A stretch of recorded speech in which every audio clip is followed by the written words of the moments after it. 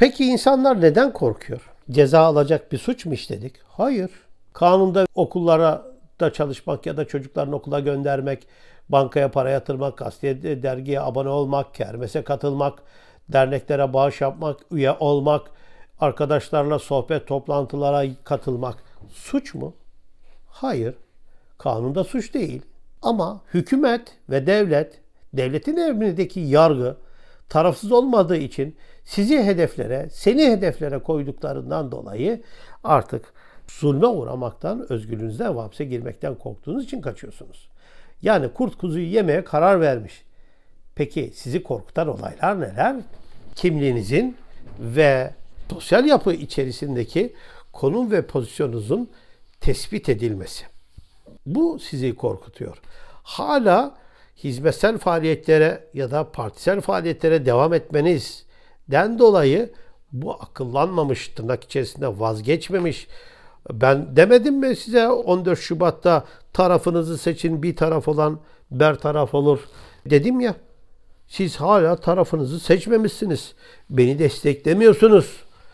Vay siz pişman olmamışsınız. Ha siz bana biat etmiyorsunuz. Benim arka bahçem olmuyorsunuz. O zaman hapse girmeyi hak ediyorsunuz yaklaşımı ve sistematik çalışması bulunmaktadır. Bu sosyal grupları ve sosyal gruba ait olan insanları yok etmeye yönelik bir soykırım ve insanlığa karşı suçtur. Burada aşağılayıcı, insanlık dışı, kötü muamele, kabadayak, vücut bütünlüğü bozucu, fiziki ve psikolojik orantısız cezalandırma işlemleri yapılmaktadır. İşte bunun için sizlerin yapması gerekenler demokrasinin, insan hakları, hukukun olduğu ülkelere kaçmak. Yani adresinizi, imkanlarınızı, yeni hayatınızı değiştirmektir. Peki bunlar yakaladıklarında ne olacak sizi?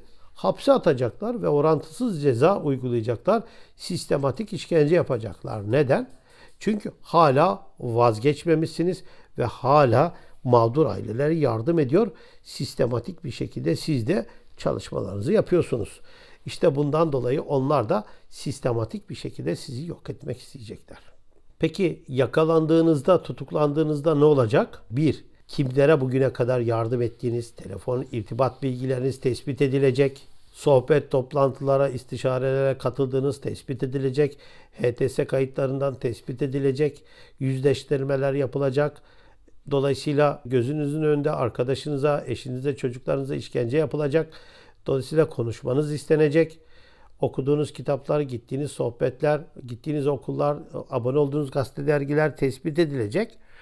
Ve sizin daha önce yapmış olduğunuz sohbet, toplantı, istişare, kermes faaliyetleri, insan kazanma faaliyetleri, bağış yaptığınız faaliyetler, banka dökümleriniz hepsi tespit edilecek.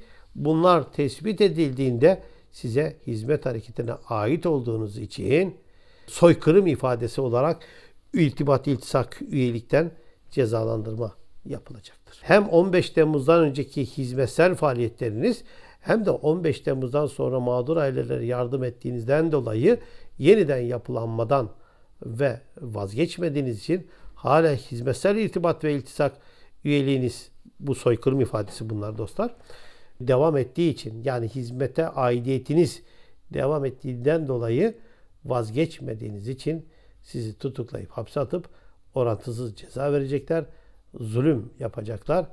İşte bu hem 15 Temmuz öncesi hem 15 Temmuz sonrası hizmetsel faaliyetlerinizden dolayı hizmete insan kazandırdığınız için sohbet toplantılar yaptığınızdan dolayı hizmetin propagandasını propaganda soykırım kelimesi burada nedir? Taşhidat.